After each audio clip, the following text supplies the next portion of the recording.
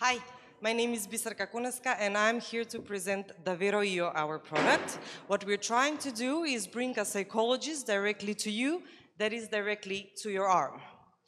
So this is Julia, she's 36 years. She's a mid-level manager at a bank in Milan in Italy. She is a very hardworking young woman. She has success at work. She's all about healthy lifestyle. She takes care of what she eats, how much she sleeps. She's online, she buys online, and she is a fan of wearable gadgets. However, she lacks time, lacks time for her par partner, for her family. She is faced that she's struggling to achieve someone else's goals and someone else's objectives and needs. Her managers, her partner, her friends, her family. So, a burnout is inevitable. It happened to me, and it surely happened to many of you in the room. It happens to many of them out there. People have lost touch with their inner self.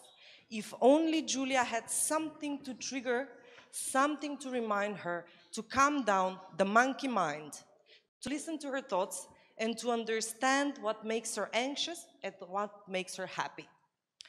So provoked by this problem, we have decided to help to come up with a solution and to help a person visibly understand the inner self. We would like to boost self-awareness. We would like to support self-expression. We would like to prevent burnout as much as possible, as well as anxiety and depression. However, please note we are not a diagnostic tool but we are a solution that offers self-regulation of our emotional reactions. Bottom line, we would like to combine pretty and useful and very important to fill in a gap in the fashion industry, which is lack of technology and then monetize out of it. So the Davvero IO is a smart jewel that helps dynamic career-oriented people to who are already fans of wearable gadgets to achieve some life balance, to help them track, become aware, and share their emotions if they want to be unique, to outstand, when at the moment the competition only offers physical activity trackers, which is something we will not be. So our solution consists of an electronic module that records biophysiological uh, signals from the human body. Our smart app collects and at the same time analyzes data from how much from how we use our smartphone, how what is our behavior, how we use the other apps on the phone.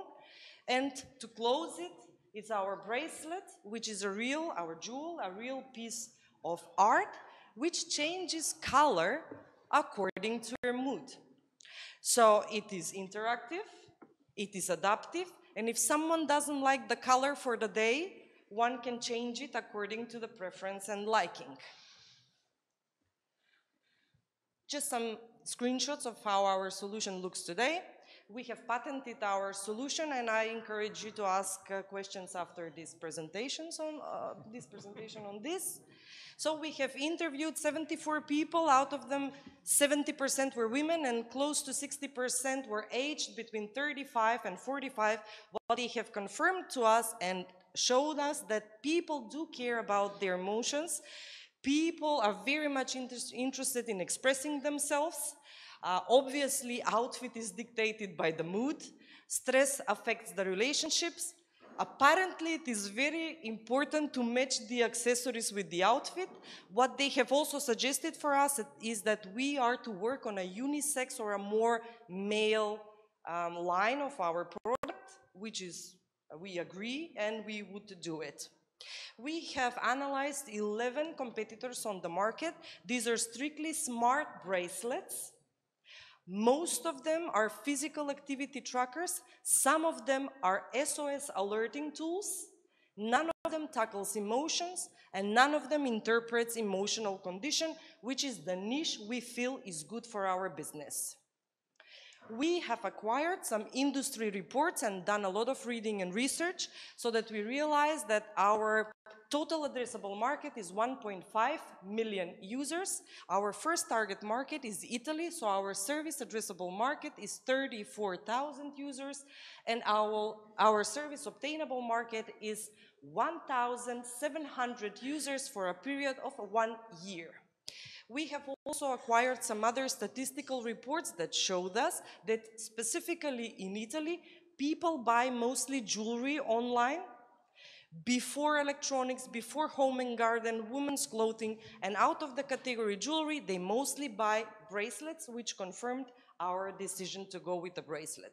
So our first target is 35 to 50 aged female and male to whom we are to offer our premium line, but in order to target another target group, 25 to 35 aged female and male, we are going to release a more a basic line, which would be a more cost-effective, more cheaper. It would have some limited functionalities.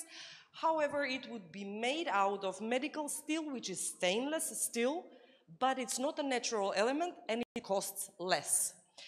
Uh, we have partnerships in both software industry and fashion industry in Italy. Their network is our channel.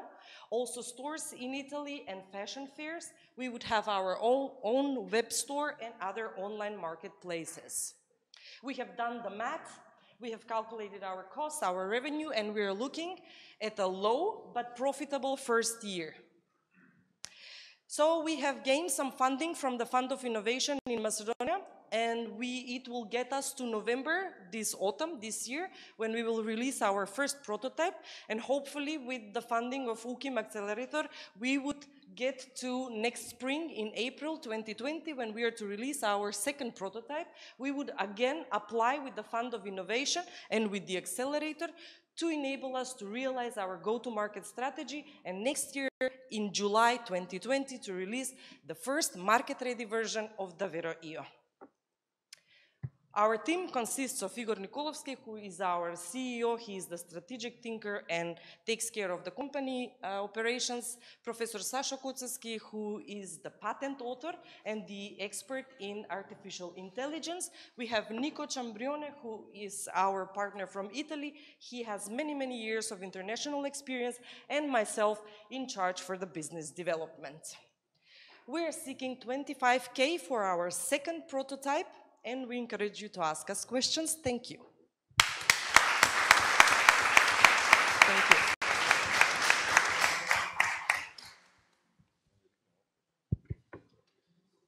Uh, even better. now you're in the spotlight.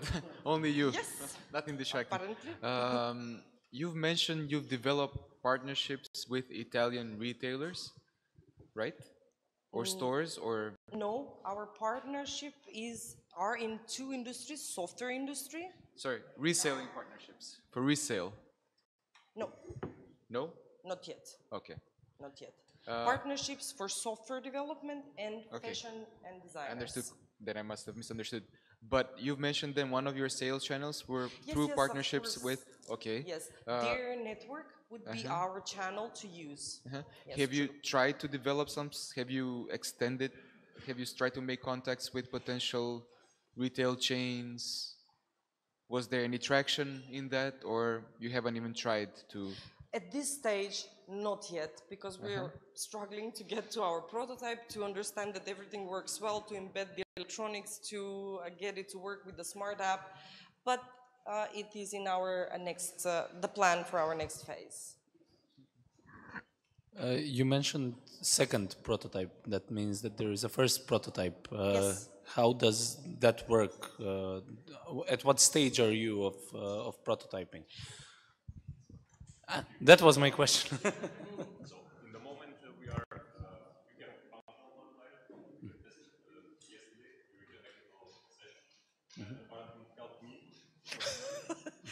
wait, wait, wait. We need the mic for that. I think I'm, I'm loud enough. No, no, it's not going properly. So uh, as you can see, it's pretty ugly. It's 3D printed. So our wives, our lovers, our girlfriends would not like it. So we are asking a little bit of money to dress it, to vest it, and uh, to make it more appealing. So that's uh, and the app is already developed. It Yep. works with it. Yep. Yep. Yeah, it connects to it. yeah. Actually, we tested it yesterday. Practical. yeah, yeah, yeah. Due to de- uh, dehydration, it was it was true. Oh, interesting. So it's Thank you. working. Okay. Uh, maybe maybe I have missed that information. How much is it going to cost the product and the software if I want to buy some piece of I don't know jewelry? How much no, I had cost? many slides. I had to take out some. Okay.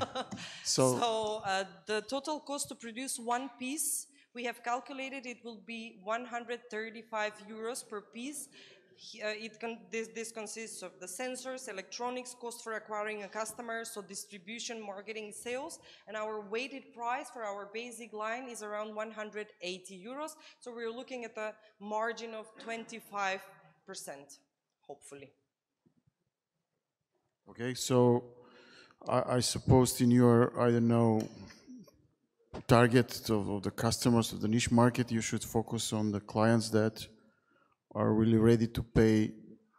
I don't know pretty much amount of money for the, the piece of, of jewelry and plus maybe make as Darko mentioned make some connections with some I don't know jewelry producer that produce you know those mm, products that are with a little bit higher price because they, they, they can edit and they can find a, a clients who are who are able to pay and um, I in terms of the um, a kind of technical question it, because it has to be connected I assume with specific parts of the body in order I don't know to make to I don't know to calculate the heartbeats or whatever.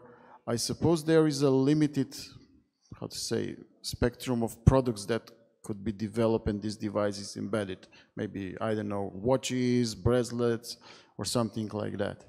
In terms of the contact of the, the, the electronic device with the, the body. Yeah. So, did you think what kind of, of, of products you could make, uh, or in what kind of, of type of jewelry the, the your electronic device could be embedded? So, uh, we can do diversification there. It can be in a form of ring, it can be in a form of a bracelet, or it can be uh, in a form of, uh, let's say, some, some necklace. So there are three potential lines in which it can be produced. Yeah. Thank you.